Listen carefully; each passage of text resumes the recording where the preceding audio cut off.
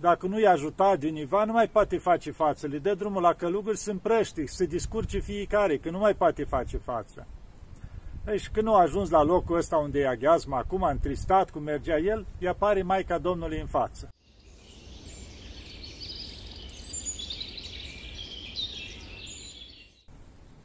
Hristos a înviat, dragii mei. Iată că ne vedem iarăși. Ne-am bucurat de Sfânta Înviere, de săptămâna luminată, a trecut și Duminica Tomei și mergem mai departe. Ce vreau să vă spun acum, o să încerc să continui pe unde am rămas. Știți, despre Chilia Sfântul Arteme, că am făcut o pauză acum de Paști, de Sfânta Învieri, zic să ne bucurăm un pic de praznicul ăsta atât de frumos și atât de important pentru noi. Și înainte de a începe, îi rog să mă ierte pe cei care vin aici și nu mă găsesc. Pentru că mai vin uneori grupuri care și azi. A venit un grup de 20 și eram obosit, să am vusesc în priveghere, că a venit un părinte, a bătut la ușă, numai dispoziții de vorbit n-aveam. Și, na, știu că poate o pleca mâhniți, că n-am putut să ies. Deci nu întotdeauna pot, pentru că singur și eu, adică mă refer că oamenii sunt mulți, grupuri care vin și unii și alții și toți ar vrea un pic să stau de vorbă cu ei, dar nu reușesc totdeauna. De asta să mă ierte cei la care nu reușesc să ies. Cum rânduiește Dumnezeu? Pentru că avem și noi slujbile noastre, avem și ale noastre, cum se zice, la care trebuie să fac față că fac parte din viața noastră asta. Asta nu se poate să renunțe la ele. Iar cealaltă în timpul liber, când pot, cu mare drag. Dar vedeți că, în primul rând, ceea ce am dispus încerc să spun prin filmările astea, ca să ajungă la cât mai mulți oameni. În rest, cum pot și eu, la cei care vin. La care pot cu mare drag, care nu pot, îi rog să înțeleagă și ei și mergem mai departe. Da? Ce să vă spun eu despre Sfântul Artemie? Tot în perioada aceea, din începuturi, ne-am luat și o bărcuță. Nu știu dacă în primul an sau în al doilea, dar știu că am găsit la un grec care foarte ieftin, o bărcuță cu un motoraș acolo de 12 cai, care omul, sau chiar mai mic, nu știu cât avea motorașul, dar orice caz, ori șapte cai, cam așa ceva și omul vrea să scape de ea, că trebuia să plece, îi trebuia nu știu ce, un părinte grec. Și am cumpărat-o noi. Și am avut și bărcuța noastră. Mai mergeam la pescuit câte un pic pe mare, dar ne mai duceam unde aveam și treabă. Uneori chiar de aici, că o țineam la Morfonou, univa la mare, am găsit o, ca o căsuță de asta care avea pentru barcă acolo, ca o anumite chilii sau mănăstiri ca un mic arsana, unde se poate ține barca și au și o cameră deasupra. Și avea un părinte care nu mai avea barcă, era un părinte bătrân și mai avea un, încă un părinte un pic mai tânăr ca el așa și aveau locul ăla. Și am rugat să ne dea nouă vo voi și ne-o da voi acolo. Ei, n-avea ușa, am reparat noi, am făcut acolo cât de cât să fie protejat. O scoteam din mare, o trăgeam înăuntru acolo, în camera deasupra ne-am făcut noi o sobiță acolo și ne descurca, puteam rămâne și peste noapte, dacă vroiam, mai mergeam, mai puneam cârligii de astea din noapte la pești, mai mergeam cu bărcuța, mai în urma bărci așa din mers, mai prindeam câte ceva, cât ne trebuia și nouă. Știu că odată am vrut să ne ducem, nu mai rețin, în partea aia, spre Ivir, încolo. Și am pornit și era un pic de furtună pe mare. Și na, ca de obicei, Știm și la Evanghelie, s-a ridicat furtună pe mare, așa și aici, marea destul de mare, nu-i ca Marea Galilei, mult mai mare. Și am pornit cu un părinte, încetul cu bărcuța, ei, acolo la noi unde aveam noi un pic de golfuleț. Și era mai liniște acolo, am zis că, ei, merge, hai că ne ducem până la unde vroiam noi. Ei, și mergând cu bărcuța am văzut că valuri din cinci mai mari, era ca munți, așa vinea tot încerca să le tăiem așa ca să nu ne ia, că noi aveam o bărcuță cât o coajă de nucă, cum spun, pentru două persoane, cel mult trei așa la limite, cum se spune. Și cum mergeam noi, am văzut la un moment dat că încep lemne aduse de mare, câte un butoi, ceva, deci tot evitam așa, deja furtuna se întețea și la un moment dat vedem că strigă cineva de la mal. Și când ne uităm, era un, o, un pescador mai mic de asta de pescuit, adică când zic era destul de mare, cel puțin 10 ori mai mare decât barca noastră, sau mai mare și care deja trăsese la mal și striga de acolo, fugiți cât de repede puteți, că zice, e anunțată furtună foarte mare, zice, nu mai scăpați cu viața. E, atunci am văzut și noi că s-o cam îngroșa gluma, zic, hai înapoi. Și de înapoi, încetul, tot tăind valurile, aruncându-ne valurile așa de pe unul pe altul și încetul am tras la uscat. E, eram începători și noi, nu prea pricepuți. Adică erai coleacă de frică, să spunem, când vedeai ce valuri așa, că te ia și te aruncă într-o parte în alta sau altă dată, dacă tot vorbesc despre barcă, o să încerc mai mult în filmarea asta despre asta. Eu sunt părinte din țară, părintele Gheorghe Iordan de la București. Și tot ne-a rugat, hai că vreau să ajung, că atunci nu prea erau mașini pe aici, un singur părinte avea și el avea o probleme cu, cu un picior, l-a scos până la mare. Și hai, duceți-mă și pe mine, nu știu unii, în partea ailantă Atosului, era destul de mult, nu știu unde vroia el, să-l ducem cu bărcuța la o mănăstire. Dar tot așa, că partea asta, mai ales perioada de primăvara, toamnă, e furtună tot timpul.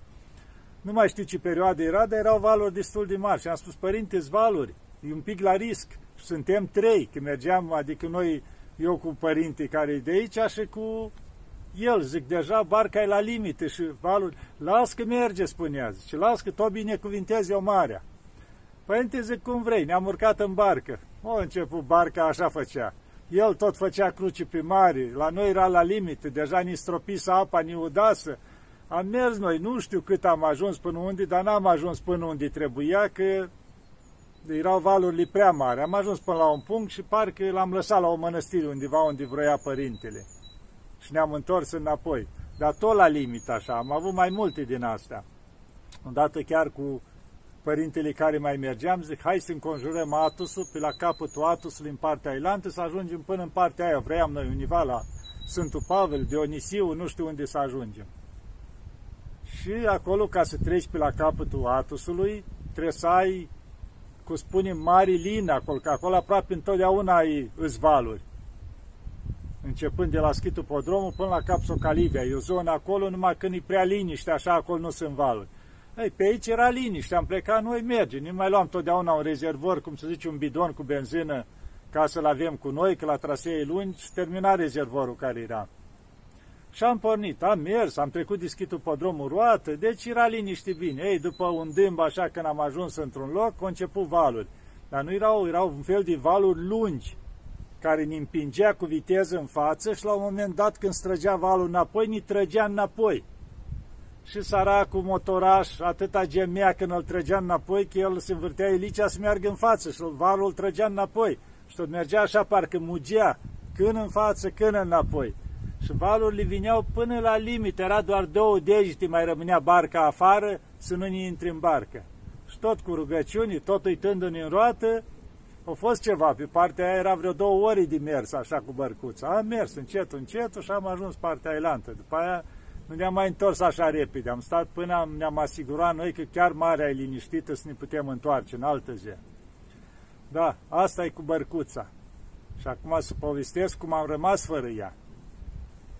Odată chiar am plecat, atunci m-am dus singur, la schit la prodromul, unde mai mergeam la Părintele Ian, la duhovnic. Am văzut eu cum are la liniștită, când eram singur mai puneam un bidon plin cu apă exact în botul bărci acolo ca să echilibreze o leacă, că dacă stam numai în spate și era și motorașul, se ridica un pic, mai ales la valuri, și ca să echilibreze.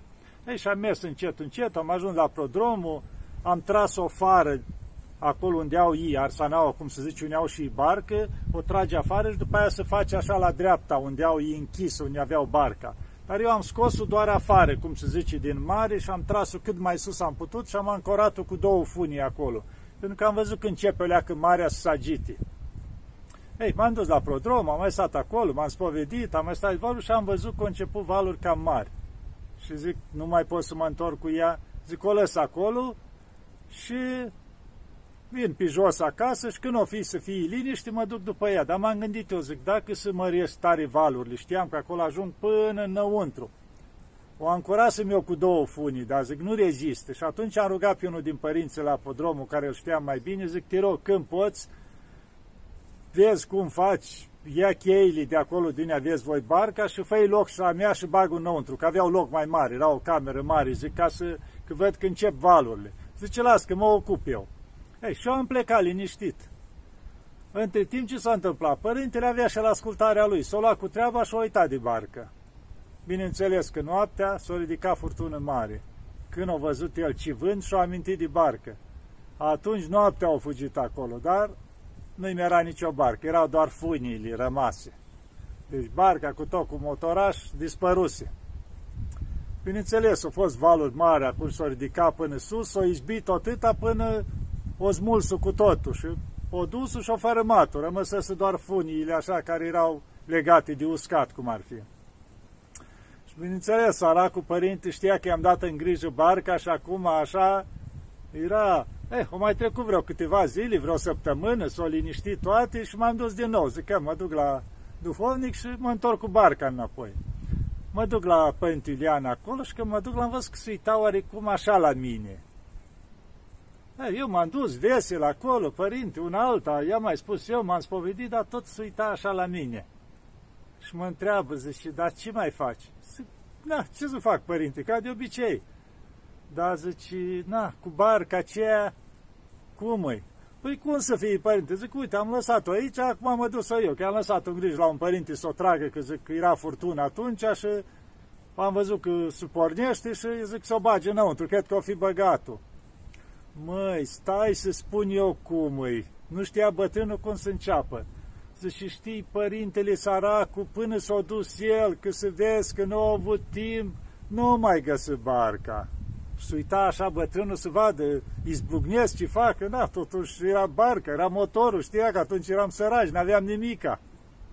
Și mă uit eu la el și zic ce s-a întâmplat. Păi na, nu găsi decât funiile. S-a dus după aia, păi s-a liniștit marea, zice, o căutat-o și prin apă, s-a băgat în apă, s-a uitat, nu mai găsi nimica.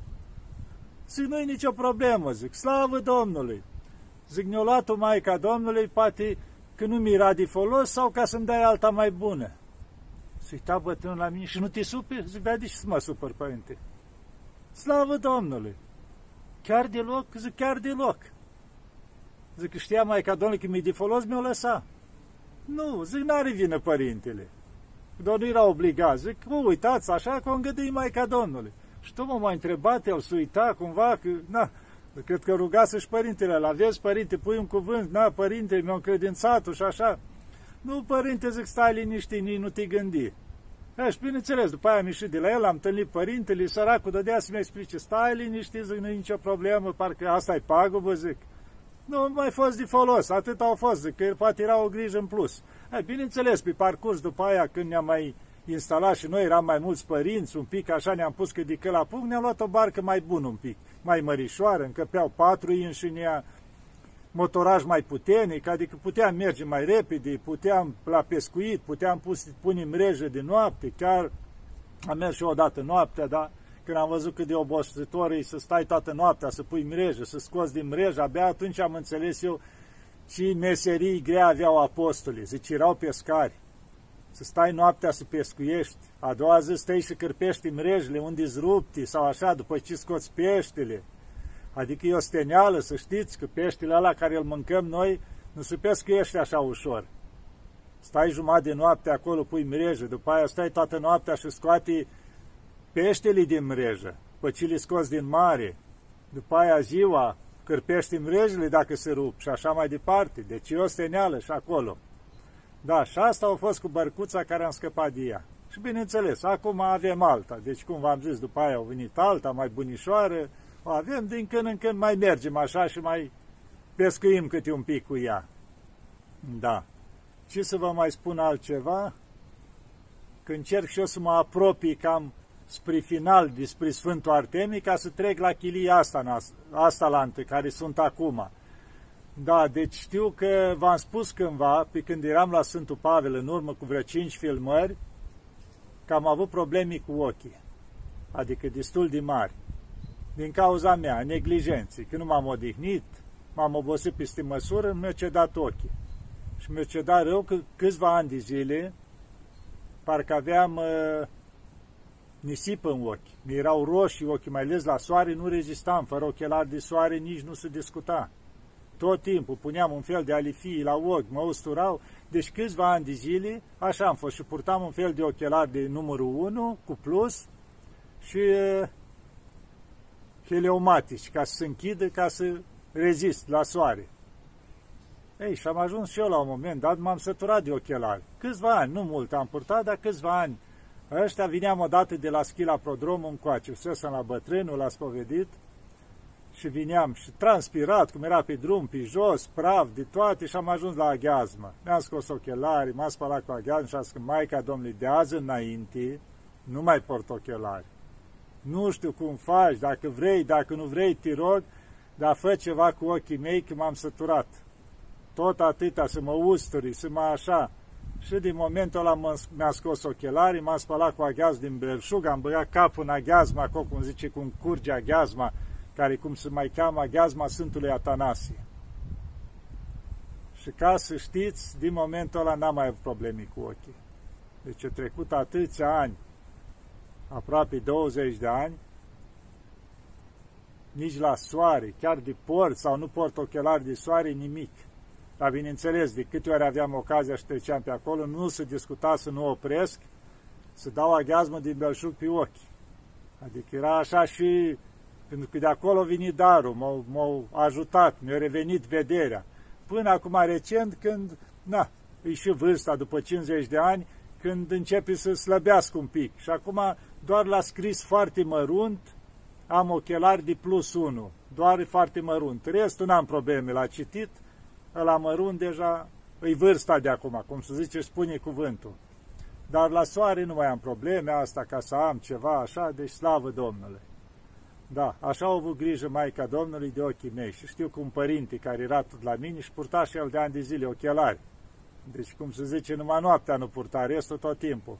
Și când a văzut el așa că eu m-am făcut bine, și s-a dat prin Grecia și a ajuns la Tembi. Acolo izvorul Sfintei Mari Mucenițe Paraschevi, vindecătoarea de ochi. Și s-a rugat că avea evlavii la ea și a scris, Sfânt, vreau și eu să nu mai port ochelari. Și s-a spălat cu aghiazmul de acolo. Și din clipa aia nu mai purtat ochelari și nici la ora actuală nu poartă, după ani și ani. Și ajunsese că eu îl vedeam că citea pe întuneric. Zic, dar tu vezi, ce văd. Adică vă dați seama ce privire o ajuns să aibă, ce vedere. Adică darul Sfintei. Da. Și o să vă spun câteva lucruri și închei despre izvorul Sfântului Atanasia, Maicii Domnului. Că dacă v-am spus că Maica Domnului a făcut minunea și m-a vindecat de ochi, o să vă spun și câteva lucruri. Izvorul de acolo, v-am mai spus eu cândva, dar nu contează dacă mă repet, în cinstea Maicii Domnului. Era Sfântul Atanasie la Lavra, făcuse mănăstirea Lavra. Și ajuns la un moment dat avea foarte mulți călugări, aproape o mii de călugări acolo. Și nu era perioada ceva cu război, cu Imperiul Bizantin, cu ceva pe acolo, era pe la 960 și ceva, și erau război și nu se putea aproviziona Atusul. Că el mai avea, că fusese prieten cu împăratul, îi mai trimitea, vă dați seama, la atâția călugări avea nevoie de alimente, de asta, în afară ce mai scoteau ei măslinii, ce mai aveau aici, dar restul și atunci ajunsese la o limită, chiar nu mai aveau nimic la mănăstire. Și atunci o pornit spre Carea de la Lavra, adică e de mers de la Lavra la Carea vreo șapte-opt ore pe jos de mers. Să meargă, era cărarea frumos, să anunță la conducerea Atosului că dacă nu-i ajuta de univa, nu mai poate face față. Le dă drumul la călugări să împrăști, să discurce fiecare, că nu mai poate face față. Ei, și când a ajuns la locul ăsta unde e aghiazma, acum întristat cum mergea el, îi apare Maica Domnului în față. O femeie îmbrăcată cu vincios și zice, unde merge Atanasie? Și da cine ești tu de mă întrebi? Era el supărat așa și o văzut și femeie, zice să nu fie ispită, diavolul ceva. Zice, Atanasie, nu ți se cade să vorbești așa, trebuie să fii mai blând. Și bine, dar cine ești tu? Eu sunt cea pentru dragostea care ai venit tu aici. Și atunci se uită Sfântul Atanasie la ea și zice, după ce cunosc că ești tu, Maica lui Dumnezeu? Zice, lovește cu bastonul care îl ai în stânca din fața ta. Și când o lovi cu bastonul stâncă, s-o crăpa stânca în formă de cruci și o ieșit în izvor, bogat, care curge până în ziua de azi. Și atunci Sfântul Atanasie s-a încredințat că e Maica Domnului. O căzut în genunchi și-o cerut iertare și atunci Maica Domnului a spus așa, întoarce-te înapoi și să știi că de acum eu o să mă îngrijesc de mănăstirea ta să nu lipsească nimica, să nu mai pui econom în mănăstire. Eu o să fiu econom a mănăstirii și o să mă îngrijesc de toate, așa cum mă îngrijesc de tot atusul. Și atunci Sfântul Atanasie s-a închinat, s-a întors înapoi la mănăstiri. Când a ajuns la mănăstiri, s-a dus la cămările mănăstirii să vadă cu ce a ajutat Maica Domnului, să încredințeze și nu putea deschide ușa. O scos din balămări, era plină tot cu alimente, cu pâini, cu zarzavaturi. Zice, vasele alea mari, cum aveau ei la 2-300 de litri, în care țineau uleiul, unde lemnul, erau plini, dădea piste, așa se ridicau capacurile. Era totul din belșug, adică o arata Maica Domnului că se îngrijește de toate. Și de atunci, la Mănăstirea Lavra, nu mai au pus econom, au doar ajutor de econom, așa e numit cel care se ocupă cu toate, pentru că știi că econom care e responsabil e Maica Domnului. Da, deci am vrut să vă spun și asta ca să vedeți câtă grijă are Maica Domnului. Și mai știu câțiva, câțiva ani în urmă venise cineva o cunoștință din țară care avea probleme mari la genunchi și avea apă. Și chiar înainte a venit natul, seară fusese la doctor, iar extras apa de la genunchi de mai multe ori și tot făcea din nou. Și a ajuns aici în natul și îl durea. Și când a ajuns acolo la gheazmă, a stat el, s-a rugat, a băut și la urmă a luat și o turnat și pe picior, așa. O turnat el din belșuga gheazmă și o zis, Maica, Doamne, ajută-mă și pe mine. Și a spus că până a ajuns în țară înapoi, nu mai avea nimic, se tresese toată umflătura, apa și de atunci nu a mai avut probleme cu apă la genunchi. L-a vindecat Maica Domnului. Da, să știți că se fac foarte multe minuni, nu numai cu aghiazma Maicii Domnului, cu credință la Maica Domnului. Da, dragii mei, asta am vrut să vă spun și când a rândui Maica Domnului o să mai continuăm. Doamne ajută, să ne ajute Maica Domnului să ne aibă întotdeauna în pază. Hristos a înviat.